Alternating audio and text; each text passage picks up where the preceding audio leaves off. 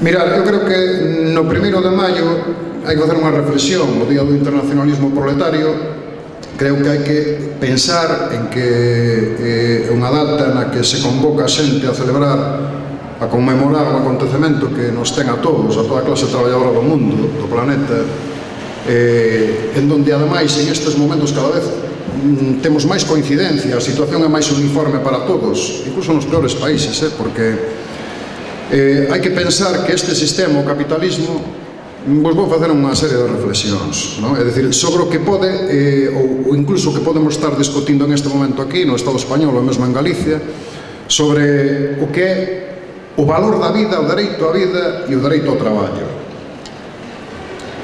Veredes, para este sistema eh, o dereito á vida e o dereito ao traballo ten un valor mercantil. E me explico. Eh, se aquí un traballador ou traballadora morre nun accidente laboral, a súa indenización, a indenización que eles calculan e valoran vai en función do salario que hai neste Estado. Ten un valor, lle dan un precio a esa vida. Se en Alemania ese valor é o doble. Se en Brasil, e morre nun accidente en Brasil, o precio é 20 veces menor. E se en Bangladesh, o precio é 100 veces menos. Claro, o traballo e a vida son exactamente as mismas para todos, porque todos en definitiva son traballadores e traballadoras que toman ese risco e viven e traballan necesariamente por supervivencia. Pero, sin embargo, a, pro, a produción, o que, o que son capaces de manufacturar, de crear, coas mans, co seu esforzo físico, aquí, en Alemania, en Brasil ou en Bangladesh, é exactamente o mismo. É dicir, o que se fabrica en Bangladesh, as mercancías que se fabrican en Bangladesh, Eh? As prendas de textil que se fabrican en Bangladesh se están vendendo nas tiendas de Walmart en Estados Unidos, nas Dindites, ou, en, ou detrás de marcas como Adidas ou, eh, ou Nike.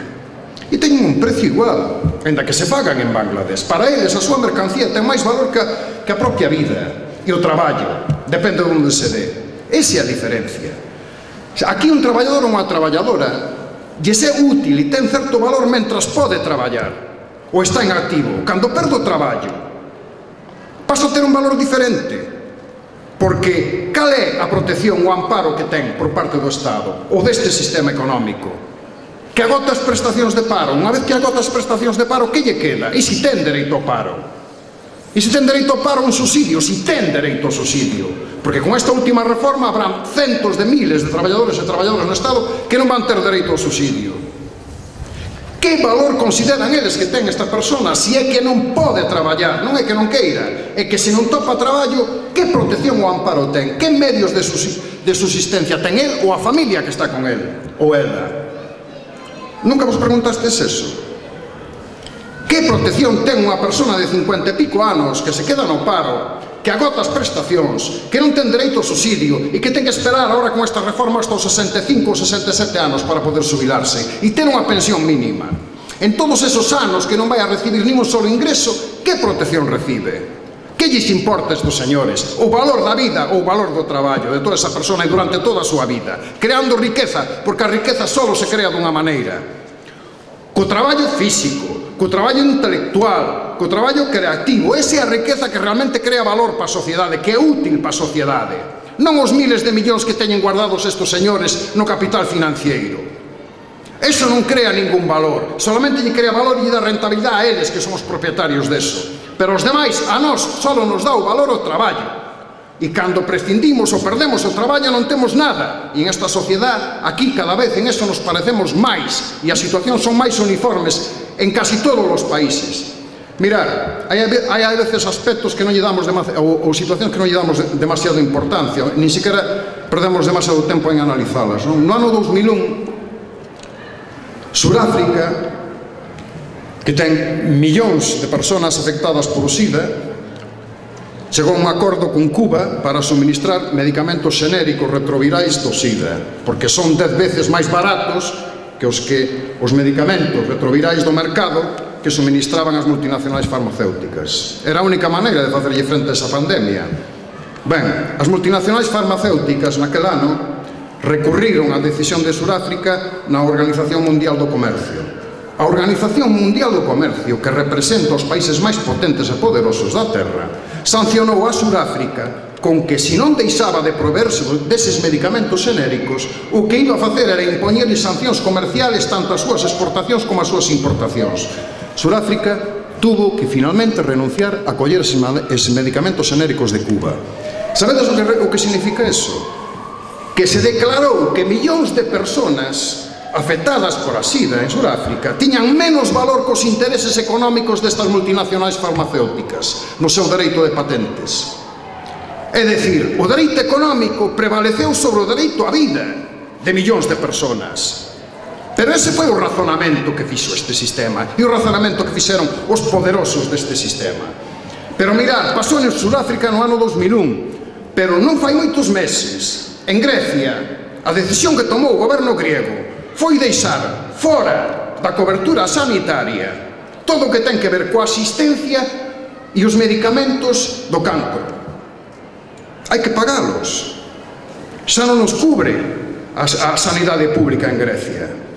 Aí tamén decidiron que o dereito á vida das persoas enfermas de cancro é secundario e ten un valor menor co dereito económico e a protección que lle podía prestar o Estado griego.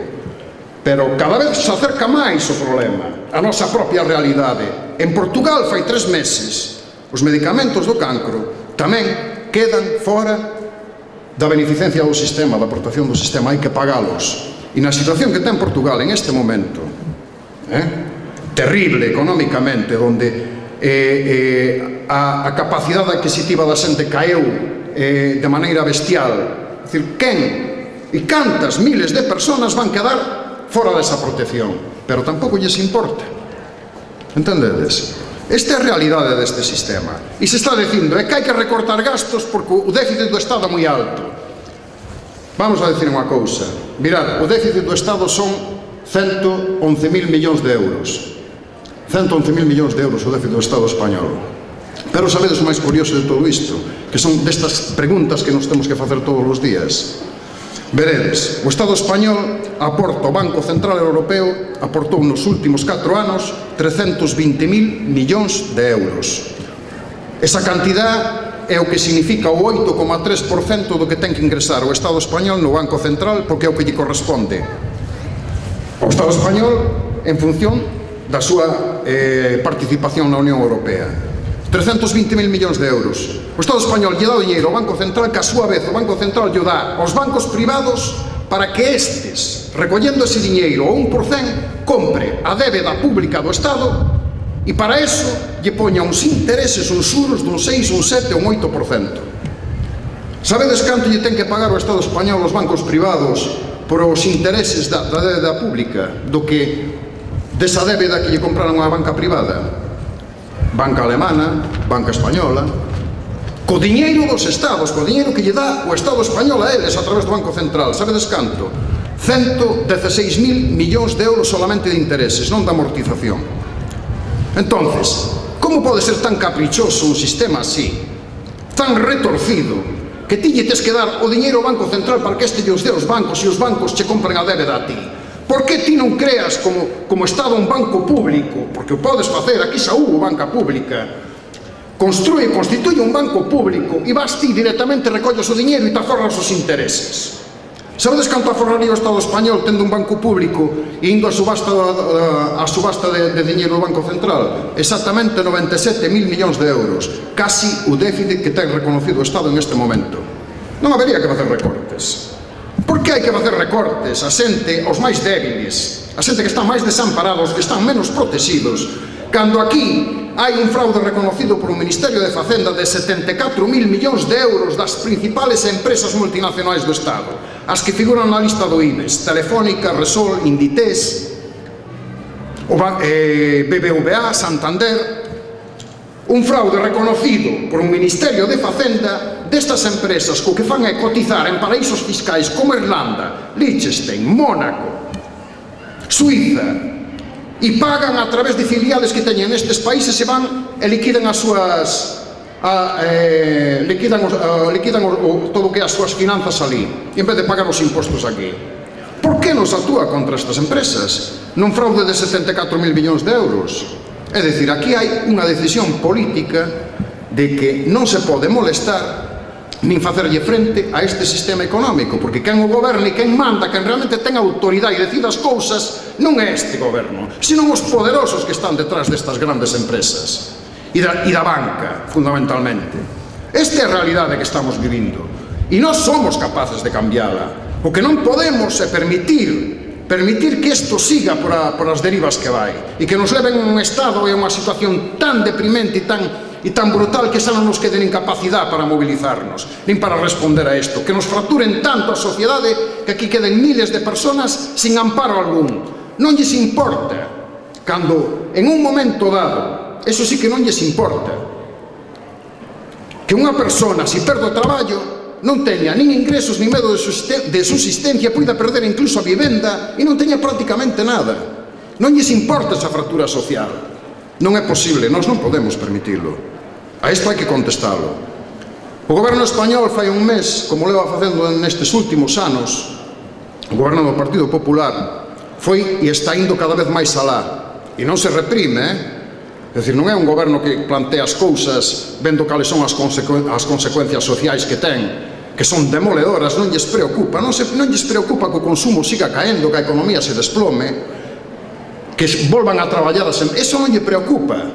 Non porque non fai, nin toma ninguna decisión que poida revertir esa, esa tendencia de destrucción do emprego. Non está facendo nada para que a xente teña capacidade para volver a comprar para que as tiendas abran, para que as empresas produzcan, para que o naval funcione. Non está facendo nada. O único que fai é dar dinheiro á banca.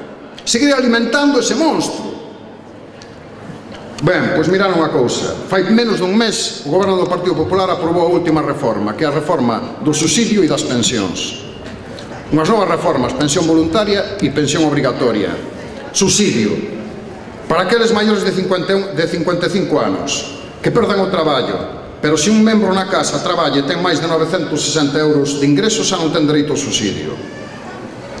A persona, esa persona, Pode pasar moitísimos anos, pero cada máis o subsidio cotiza para a pensión. Se non accede ao subsidio non vai cotizar, co cual a súa pensión vai caer dunha maneira eh, moi, moi estimable. Se vai empobrecer moitísimo a súa pensión. Porque o seu subsidio, ou non telo ou non recibilo, non vai cotizar. Pero ademais o que fai é retrasar a subilación obrigatoria É dicir, cal é? A subilación obrigatoria é daquel traballador ou traballadora que perde o emprego porque pechou a empresa, porque foi despedida a través dun ERE, porque foi despedida a través dunha causa objetiva, e entonces non ten posibilidade de encontrar traballo. Chega unha edad na que hasta fai poucos meses podía subilarse, coas penalizacións correspondientes por subilarse antes de tempo, pero tiña acceso á pensión, agora xa non a ten.